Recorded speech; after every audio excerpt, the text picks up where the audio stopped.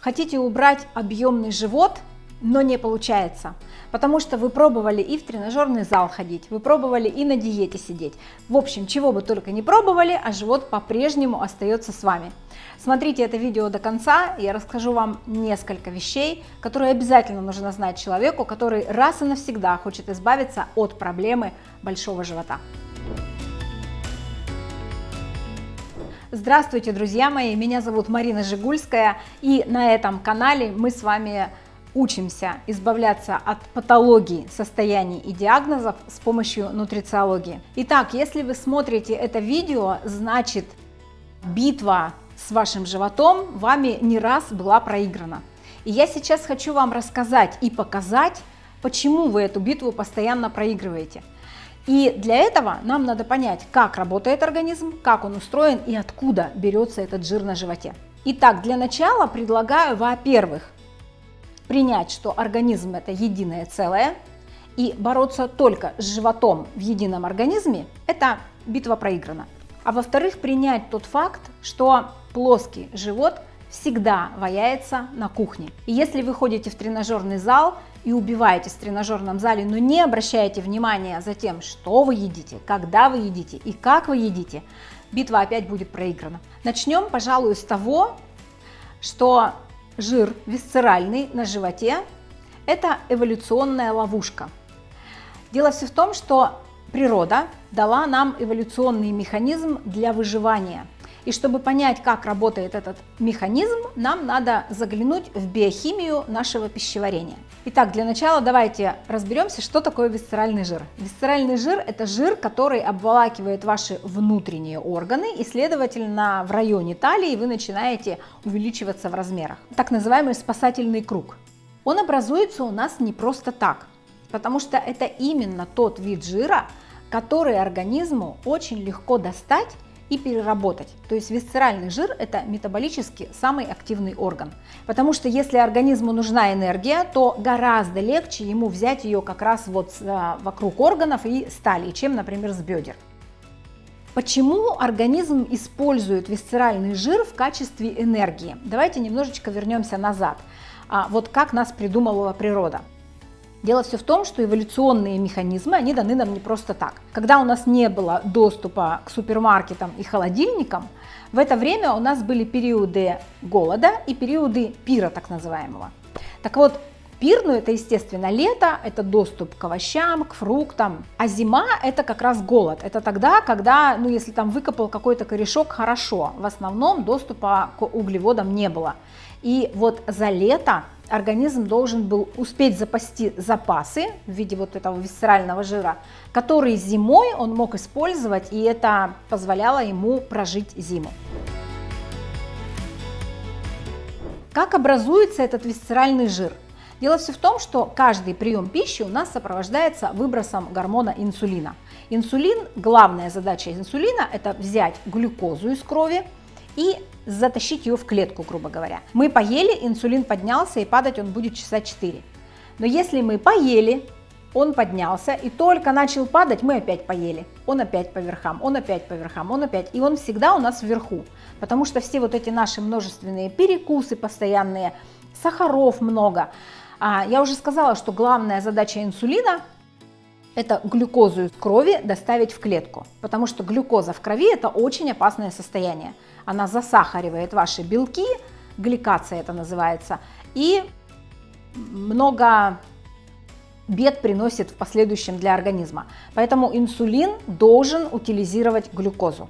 Но когда инсулин часто стучится в клетку, потому что вы поели, он высокий, он не успел опуститься, и он постоянно стучится в клетку, клетка перестает на него реагировать, появляется так называемая резистентность.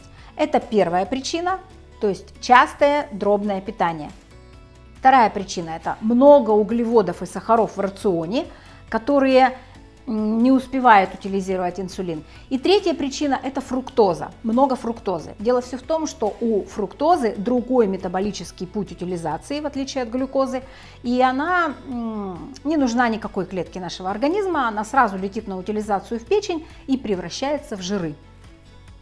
Так вот, все вот эти три механизма когда-то помогали нам выжить, а сейчас генетически начали работать против нас – И сейчас, когда мы имеем доступ к питанию, ничего не делая, ну то есть не двигаясь фактически, у нас малоподвижный очень образ жизни, когда у нас очень много углеводов и сахаров в питании круглогодично, когда у нас очень много фруктозы, потому что ее сейчас пихают даже там в э, продукты типа здорового питания, то, конечно, мы будем набирать этот висцеральный жир. И это уже не будет способствовать выживанию в периоды голода, потому что у нас их просто нет.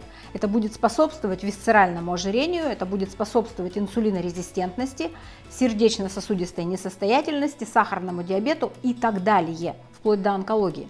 То есть вы спросите, а что делать? Что физические упражнения нужны? Конечно, нужны. Я для этого вам приведу такой пример. А, я ходила на массаж как-то раз, и мне мой массажист в процессе массажа рассказывает, что он говорит, представляешь, похудел на 17 килограммов месяца за 4-5. Я говорю, а что делал? Он говорит, ничего не делал, просто машину продал. И на работу, и с работы я теперь хожу пешком. На работу 40 минут, с работы 40 минут. Иногда, говорит, я опаздываю, приходится идти очень быстро. И вот фактически только это одно способствовало тому, что он похудел. Ну, в общем-то, все тело. Поэтому, конечно, движение нужно.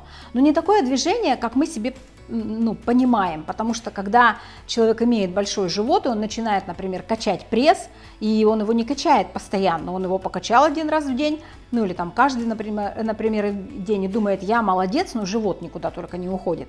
Так вот, движение должно быть постоянное, то есть каждый час вы должны встать и что-то поделать, потому что это активирует все ваши процессы, это доносит кровоток, а следовательно витамины, минералы, питательные вещества до клеток, тканей и органов, ну и в принципе это, конечно же, запрос на энергию, потому что особенно после а, углеводного приема пищи надо обязательно встать и подвигаться, потому что эти углеводы таким образом утилизируются на то движение, которое вы сделали. А если, например, вы а, поели, особенно если были углеводы, и после этого сели в кресло, сели за компьютер или легли на диван, то, конечно, эти углеводы не будут утилизированы, и они как раз отложатся у вас тот самый животик. Поэтому физические упражнения, безусловно, нужны. Но а, живот, помните, я сказала, ваяется на кухне. Так вот, что нам делать на кухне? И здесь как раз а, человек как за соломинку хватается за какую-то диету или ищет правильное питание. Еще раз, нет правильного питания. Я топить буду за это всегда. Нет такого понятия, как правильное питание. Есть понятие подходящее питание. И подходящее оно в зависимости от а, человека, которому мы его рекомендуем.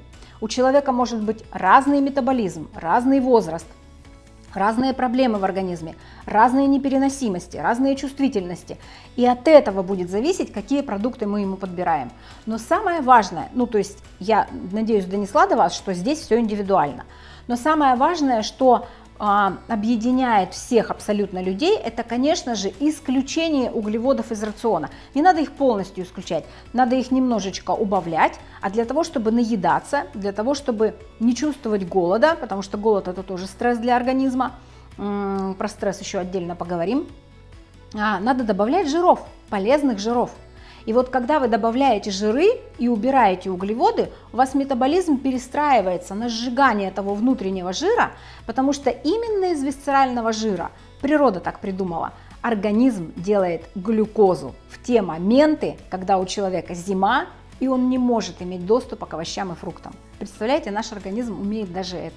Поэтому не надо э, вестись на вот эти вот все провокационные штуки, что сахар нужен для мозга, поэтому я ребенка кормлю шоколадом для того, чтобы он лучше соображал. Соображать он будет хуже, потому что э, сахар излишний гликирует сосуды, ломает ваш углеводный обмен, ни к чему хорошему не приводит, а вот к животу приводит в последующем. Конечно же, огромную роль во всем этом играет еще и стресс. На стресс надо обращать внимание. Почему? Потому что мы зачастую недооцениваем, что это очень важный фактор в нашем лишнем весе. Он может только один запустить такие метаболические процессы, которые никогда не позволят вам похудеть. Поэтому стресс это очень важно. И еще один параметр это, конечно же, сон. Понаблюдайте, как вы спите. Если у вас, например, а, ритмы не совпадают, а, те, которые вот за окном и те, которые в вашем организме, организм не сможет похудеть не сможет. Поэтому спать надо обязательно ложиться вовремя, вставать надо вовремя и добиться того, чтобы сон был качественный, потому что именно во сне мы тоже а, теряем лишние килограммы. Итак, практические рекомендации. Самое важное – это двигаться. Двигаться постоянно, перманентно, не убиваясь в зале, а просто быть в движении. Естественно, движение должно быть а, такое, что вы, например, прошлись, если, то вы прошлись быстрым шагом. Если вы, например, в офисе или дома работаете за компьютером, то каждый час вы встаете и что-то делаете. Очень хорошо здесь работают статические упражнения, потому что именно они как раз запускают вот то, тот запрос на энергию, который вам нужен для того, чтобы сжечь излишние углеводы. Любая статика, это может быть планка, это может быть стульчик у стены, ну то есть сейчас упражнений очень много. И вы можете делать это фактически каждый час абсолютно в любом месте. Для этого достаточно выделить 5 минут. Следующий пункт это безусловно питание. И здесь мои рекомендации такие, что мы потихоньку убираем углеводы. Простые убираем сразу и потихонечку снижаем количество круп, гарниров и вместо них добавляем полезные жиры. Это оливки, авокадо, это утиный гусиный жир, это сало, это сливочное масло. Вот здесь я бы не рекомендовала налегать на растительные или семечковые масла, потому что они все-таки провоспалительным фактором обладают и дополнять а, сама по себе жировая ткань это тоже провоспалительный фактор и добавлять как бы ее не стоит. Следующий момент это перекусы. То есть не задирайте свой инсулин, не держите его наверху постоянно, потому что именно инсулин никогда не даст вам похудеть при высоком инсулине это невозможно. Даже если у вас инсулин в норме, но при этом у вас рецепторы уже не чувствительны к инсулину, потому что много было инсулина в их жизни, а вы не, похудеете. Похудеть при инсулинорезистентности практически невозможно. Поэтому четырехчасовые интервалы между приемами пищи все, что не вода, еда. Никаких перекусов, чистые интервалы. В этом есть еще один плюс, потому что такие интервалы улучшают чувствительность к лептину и а, разбудят грилин. Это гормон голода и насыщения. Когда вы садитесь есть без чувства голода, ваш организм не готов обрабатывать пищу, и все это пойдет, конечно же, в жир. Прежде всего в висцеральный. Туда организму легче всего откладывать, и оттуда легче всего брать. По сути, это все рекомендации, согласитесь, несложно, для того, чтобы навсегда распрощаться с объемным животом и лишним жиром на талии.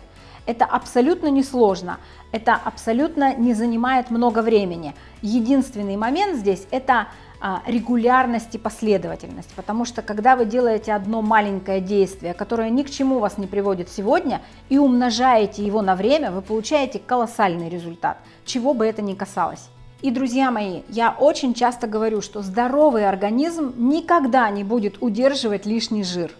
Поэтому нам с вами самое главное, это надо идти к здоровью, а жир растает по дороге. И для того, чтобы разбираться во всем этом подробно, последовательно, я провожу трехдневный бесплатный интенсив, который пройдет 6, 7, 8 июня. И на этом интенсиве мы разберем три основных темы, без которых нельзя двигаться дальше.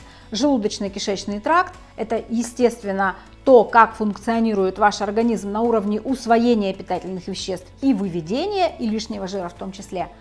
А, гормоны – мы разберем здесь со стороны гормональной системы, на что надо обращать внимание, а, как понять, что она уже не в порядке, и анализы.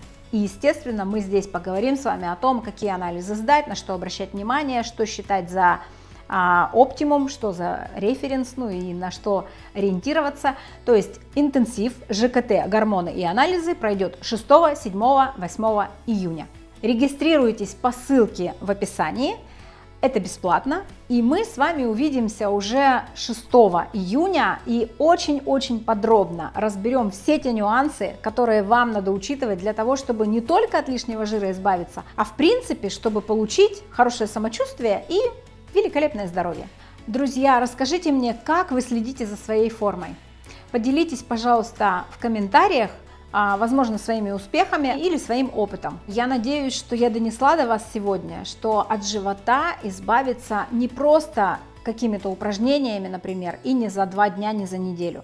Это последовательные рекомендации, которые надо выполнять просто каждый день. Они несложные, они легко встраиваются в ваш повседневный график, но тем не менее, если вы выполняете их каждый божий день, вы уже через несколько, некоторое время, максимум там 2-3 недели, заметите очень большие улучшения, не истязая себя в зале, не сидя на жесточайших диетах, обычными своими привычками, о которых мы поговорили, если вы внедрите их как привычки, вы будете двигаться к, э, к стройной талии и в принципе к хорошему здоровью. Обязательно поставьте лайк, для меня это очень важно, и подпишитесь на канал, потому что здесь будет много полезного о здоровье.